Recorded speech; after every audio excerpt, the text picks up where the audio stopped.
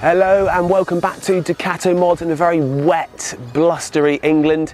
Today we're going to show you how I finally managed to tint all the windows, all the plexiglass windows on my motorhome. Let's see how it's done. As I mentioned four months ago, I miserably failed. So I'm off to Torquay today, 28 miles away from myself, to get a professional to tint these windows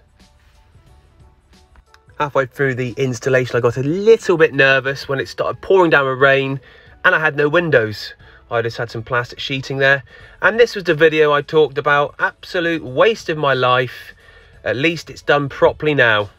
Here's a quick recap of the benefits of window tinting, which I'm sure you'll already know. But for me, the main one was privacy. I was sick and tired of people trying to take photos, peering inside when I was relaxing. It just didn't work.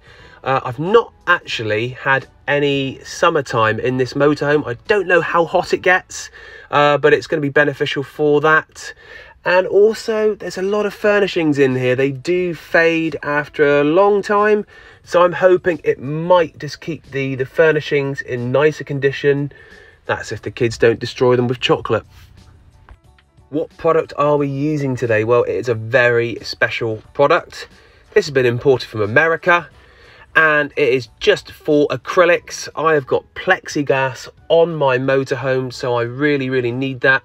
If I use normal window tint, it would crack, craze, and it would deteriorate fast. And apparently it's got microscopic holes in it to release the heat from the plexiglass. Let's get to the really interesting bit. Before and after, look at the difference once again. Before clearly see through there. And after, complete privacy. And before and after of a close-up through the van. And after, look at the difference. What a difference. Before, once again. And after, what a result. Here's the side view of the van originally when I purchased it. Clearly see through all the windows, no privacy. Let's have a look of what it looks like now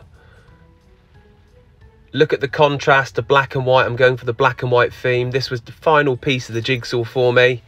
I think you can agree it does look better as well as offering other benefits. And round the other side just to show you the complete 360 angle of uh, what we've installed.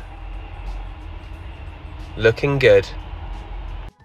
So how does it look from the inside now I've gone darker? Well, it's the same light conditions outside as the other day before I filmed.